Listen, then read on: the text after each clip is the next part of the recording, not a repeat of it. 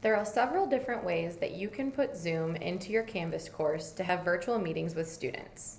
The first way is to add Zoom to your left side navigation inside your course. To do this, you're going to click on Settings, then go to Navigation, and move Zoom up into the Available Link section. Then click Save. Now when you click on Zoom, it's going to allow you to schedule meetings for students. If you want to use the Zoom section of the navigation as a place for students to always go to join meetings, you can simply just schedule them here and that's where students will see the links. Another way, if you don't want Zoom in the navigation, is to add the link to a module. You can go to your Zoom website at zoom.com and once you've created a meeting, you can click on it and then copy the link.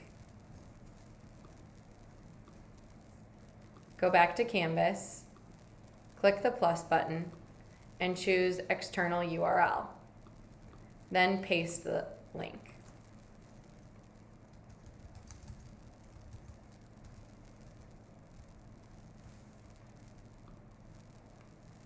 Once published, you can click on that and it's going to open the Zoom launch screen. Another way is to create an external tool in an assignment. You might want to do this if you want to put some extra settings or you actually want to put a score on the meeting. Maybe you're doing something during the meeting that's going to require a grade. In this case, I've started an assignment and when I click on edit, I can put in directions. I can put a score. And for submission type, I'm going to choose external tool. Then when I click find, I'm going to scroll all the way to the bottom and click on zoom and then click select and then click save. For students, they will now see an assignment that has a Zoom meeting in it.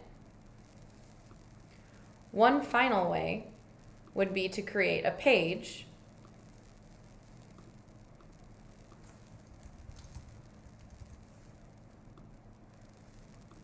On the page, you could simply put some information and then put something like click here to access the meeting. Highlight that, click the chain link, and then remember that link that we got from our Zoom page. We can paste that here and hit insert link. You could do the same thing to a button that you might have on your home page using that invitation link from your Zoom website. These are all different ways that you can give access to Zoom meetings for your students in Canvas.